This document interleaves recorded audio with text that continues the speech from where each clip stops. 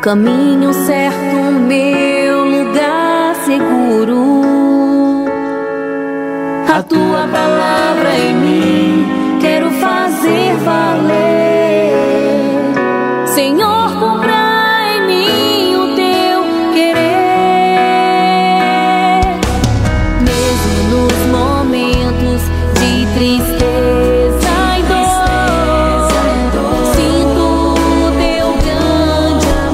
povo de Deus, povo amado, povo querido do Senhor Jesus Cristo, a paz do Senhor, Deus abençoe a sua vida.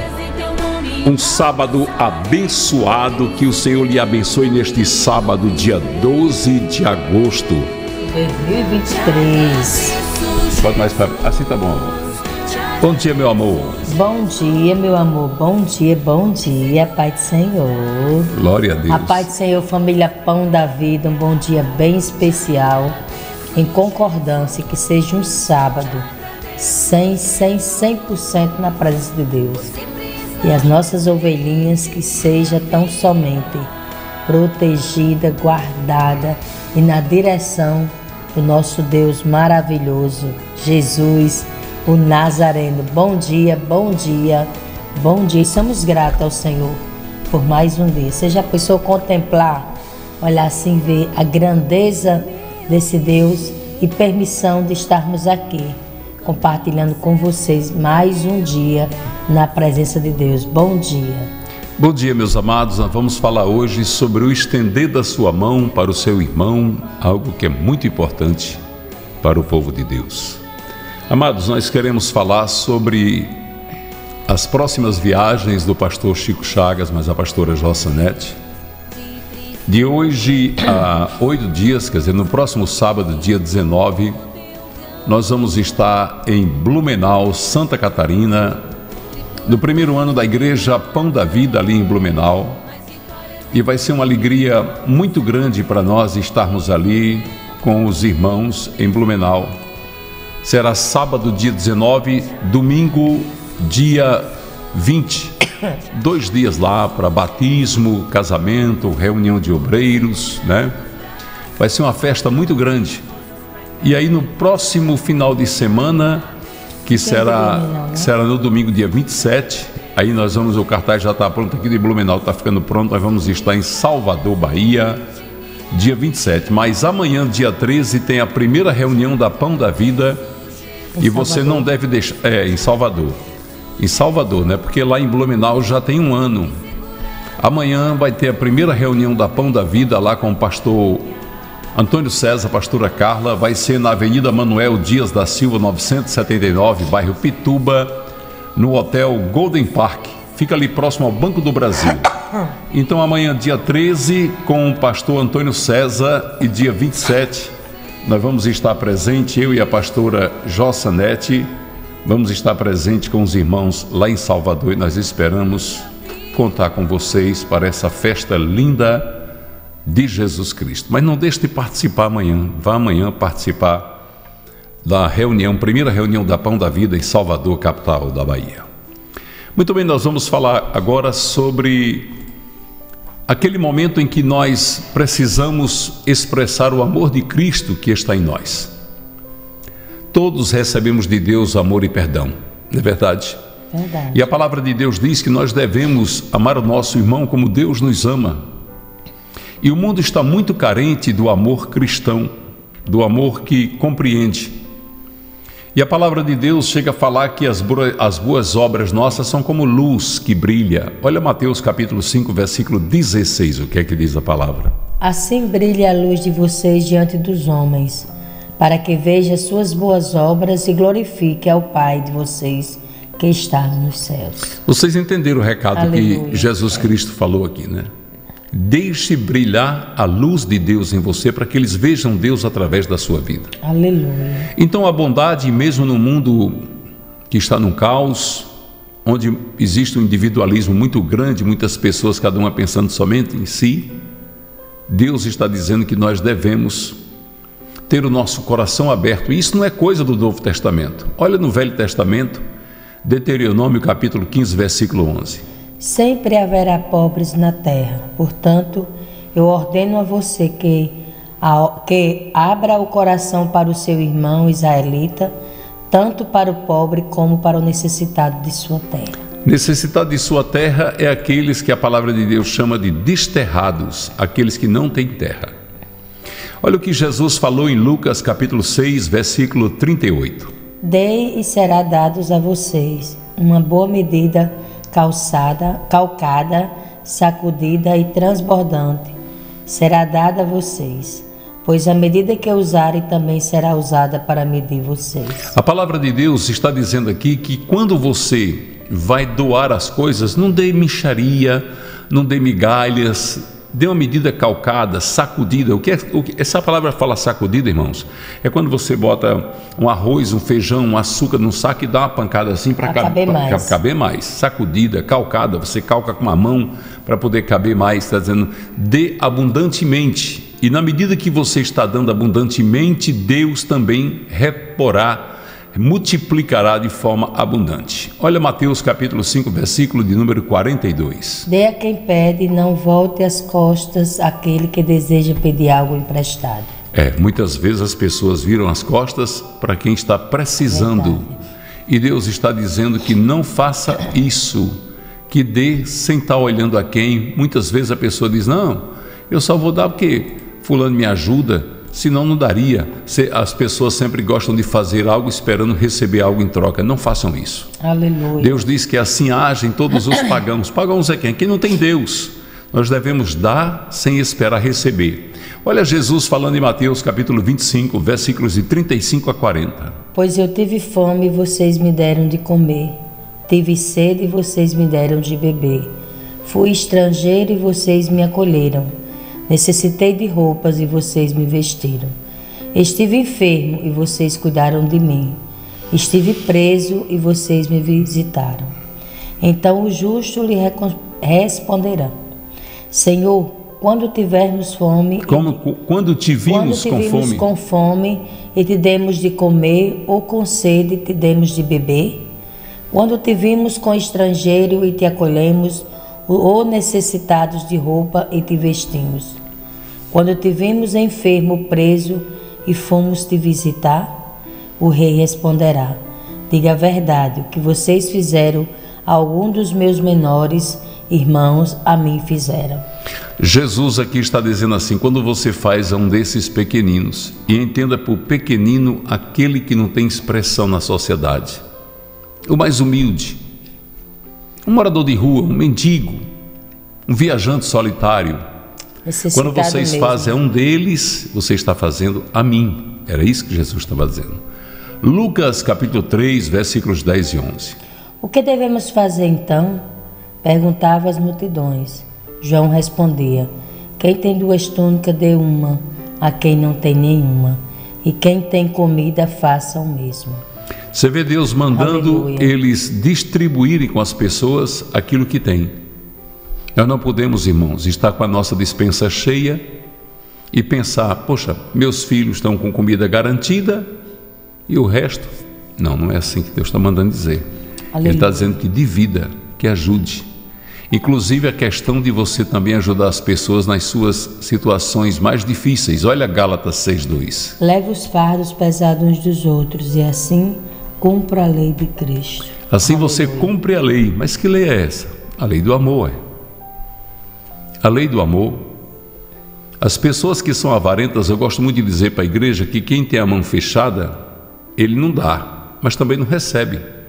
Porque para receber você tem que ter a mão aberta. Se a sua mão está fechada, a bênção vem e vai embora. Olha Jesus falando em Lucas capítulo 12, versículos 33 e 34. Vendam o que tem e dê esmolas. Faça para vocês bolsas que não se gastem com o tempo, um tesouro nos céus que não se acabe, onde ladrão algum chega perto e nenhuma Aleluia. traça destrói. Pois onde estiver o seu tesouro, ali também estará o seu coração. Muitas pessoas, Aleluia. e com certeza vocês que estão me ouvindo devem conhecer algumas pessoas assim, o tesouro delas é o dinheiro. Verdade. Então, o que Deus está dizendo aqui, Jesus está falando aqui, é: onde tiver o teu tesouro, aí estará o seu coração. Aleluia. Se você faz do dinheiro, dos bens materiais, o seu tesouro, pronto, seu coração está ali. Mas se você quer acumular tesouros no céu, aí é outra história, onde nem a traça, nem a ferrugem consome. Aleluia. Olha João 15, 12. O meu mandamento é este: ame-se uns aos outros como eu os amei. Deus Aleluia. sempre mandou a gente amar, até porque o ser humano não será feliz odiando. Ele não encontrará paz no meio do ódio. Glória a Deus. E aqui tem uma direção de Deus para aquelas pessoas que não, não se importam em prejudicar outras pessoas. Tomar o que outras pessoas têm. Efésios 4, 28. Que, eh, que furtava, não furte mais, antes trabalhe, fazendo algo de útil com as mãos, para que tenha o que repartir com quem estiver em necessidade. Você sabe que nós vivemos numa sociedade muito injusta e às vezes as pessoas não ligam para dar prejuízo a outras pessoas. Só que quando a pessoa dá um prejuízo a outra pessoa, ela está dando prejuízo e prejudicando as crianças daquela família, que muitas vezes deixa de comer um pão melhor, muitas vezes deixa de vestir, muitas vezes vai para a escola se sentindo humilhada porque não tem material escolar. E tudo isso é computado, é somado por Deus para colocar na conta de quem provocou aquilo ali. Então, às vezes, você dá um, dá um prejuízo a um pai de família, a uma mãe de família, a uma jovem que tem sonhos e frustra os sonhos dessa pessoa, Deus vai lhe cobrar por isso, não tenha nem Aleluia. dúvida disso. Verdade. Olha, Tiago capítulo 2, versículos de 14 a 17. De que adianta, meus irmãos, alguém dizer que tem fé se não tem obras? Acaso a fé pode salvá-los? Se um irmão ou irmã estiver necessitando de roupas e do alimento de cada dia, e um de vocês lhe disser, vá em paz, aqueça-se e alimente-se até satisfazer-se, sem porém lhe dar nada. De que adianta isso? Assim também a fé, por si só, se não for acompanhada de obras, está morta. E essa palavra aqui serve Aleluia. também para pastores, para igrejas, que o irmão ou a irmã chega necessitado. Vamos orar, irmã. Vamos orar por você. Faz uma oração. Pronto, irmã, vai em paz. Fizemos a oração. A pessoa chegou com fome, vai embora com a oração e saiu com fome.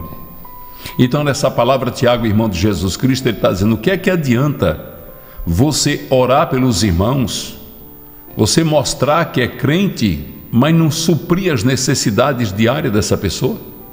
A pessoa vai embora com fome?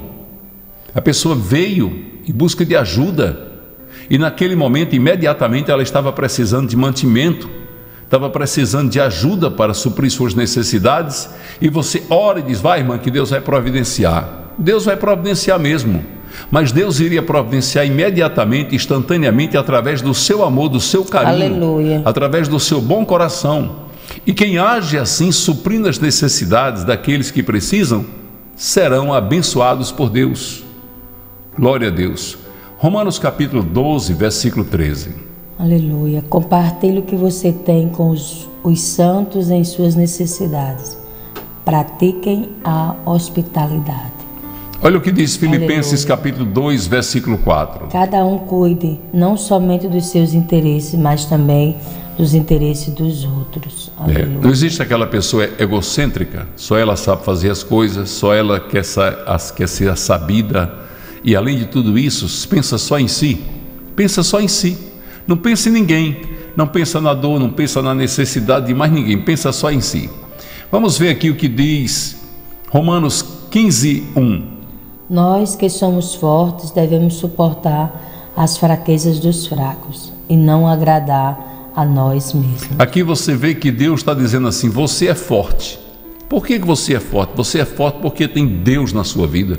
Aleluia. tem a palavra de Deus, tem Jesus, então suporte a fraqueza dos fracos.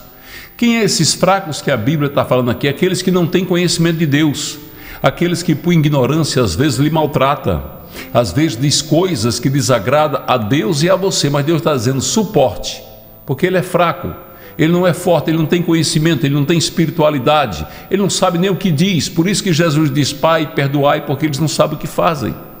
Então nós temos que ter a mesma prática de Deus e dizer: Senhor, perdoa, não está entendendo nada. É por aí. João 15, 13. Se alguém. Ah, é. Ninguém tem maior amor do que aquele que dá sua vida pelos seus amigos. Glória a Deus. E olha o que é que fala 1 João 3,17. Se alguém tiver recursos materiais e, vendo seu irmão atenção. em necessidade, não se compadecer dele, como pode permanecer nele o amor de Deus? Ele está dizendo: se você vê seu irmão Aleluia. precisando e você tem condições de ajudar e não ajuda, você não é de Deus. Você pode até achar que é de Deus, mas não é. Olha Provérbios 19, 17. Quem trata bem os pobres empresta ao Senhor e ele o recompensará. Quem Aleluia. trata bem os pobres empresta a Deus Louvado e Deus o recompensará. Essa palavra hoje é uma palavra para chamar nossa atenção. Chamar nossa atenção para as coisas que Deus tem para nossas vidas. Às vezes as pessoas pensam assim: se eu der, eu fico sem. Muita gente pensa isso, mas, mas se eu der, eu vou ficar sem. Não vai. Você precisa acreditar no Deus da multiplicação. Quando você ajudar as Aleluia. pessoas, Deus vai te ajudar, porque Ele é Deus fiel. Chegou a hora da nossa oração, nós vamos orar, e o nosso pedido a Deus vai ser, sabe para quê?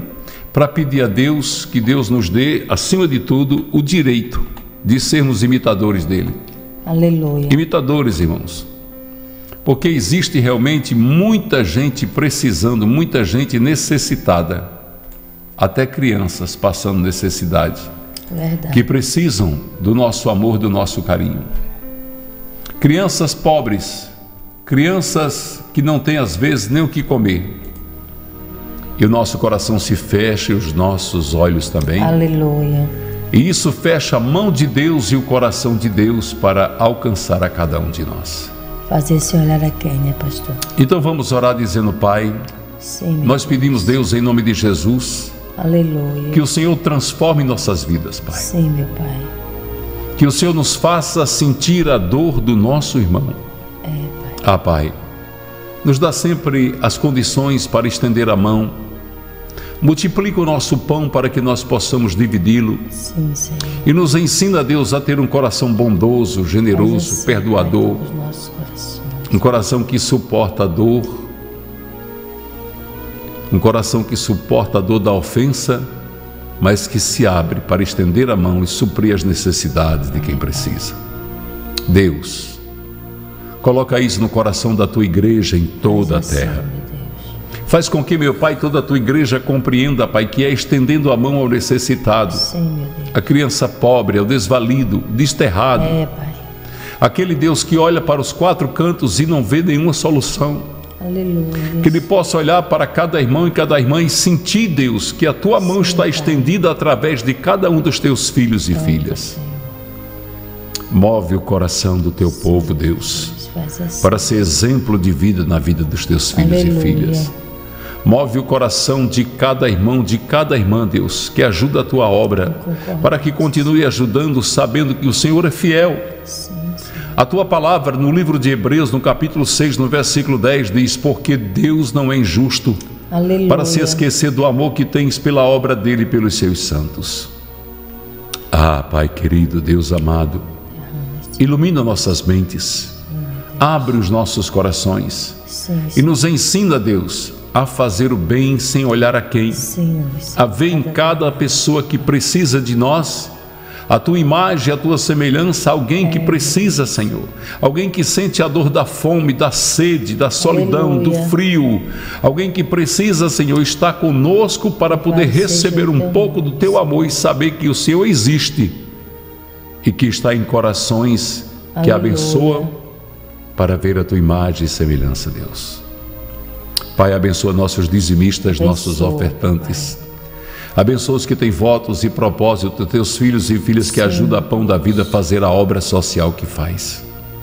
Enche-nos, Deus, do teu amor, do teu carinho, da tua maravilhosa bondade e luz. Aleluia. É o que pedimos, meu Paizinho, Em teu nome. em nome de Jesus Cristo, para a glória do nome de Jesus.